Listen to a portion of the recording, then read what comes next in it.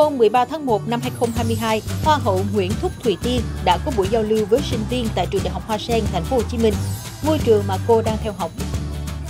Uh, bonjour, je m'appelle Tien, j'ai 23 ans, uh, je suis étudiante, uh, je suis vietnamienne. I think the most important thing when you learn a new language that you have to like be confident when you speak it and like get used to it. Like you have to practice every day. Uh, you have to like get your mouth to get used to what you say every day.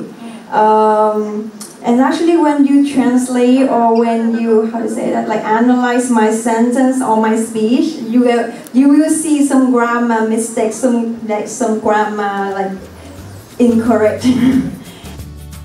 Nói về kỷ niệm đáng nhớ nhất tại cuộc thi Miss Grand International 2021 vừa qua, Thùy Tiên cho biết đây cũng là cuộc thi sắc đẹp cuối cùng mà Thùy Tiên sẽ tham gia, nên quyết tâm thi hết sức mình, xem đây là cơ hội cuối cùng để chứng minh năng lực thực sự. Trước câu hỏi của một sinh viên về áp lực khi tham gia cuộc thi, Thùy Tiên tiết lộ ban đầu phía công ty Sen Vàng có quá nhiều sự lựa chọn về người đại diện Việt Nam tham gia Miss Grand và cô chỉ là cái tên nhạt nhòa nhất trong số đó. Thùy Tiên cũng cho biết, ngay cả ở trên lớp cô cũng không nổi bật và khá nhạt nhòa, đi học cũng không trang điểm. Trước nhiều chuyện rắc rối và áp lực xảy đến, người đẹp thừa nhận cô có đôi chút buồn, tuổi thân và từng khóc, nhưng đó chỉ là cảm xúc nhất thời. Tân Hoa hậu cũng gửi lời đến các bạn sinh viên, những người ở độ tuổi còn trẻ, hãy tập luyện để vượt qua mọi cảm xúc, mọi biến cố có thể xảy ra trong cuộc đời mình.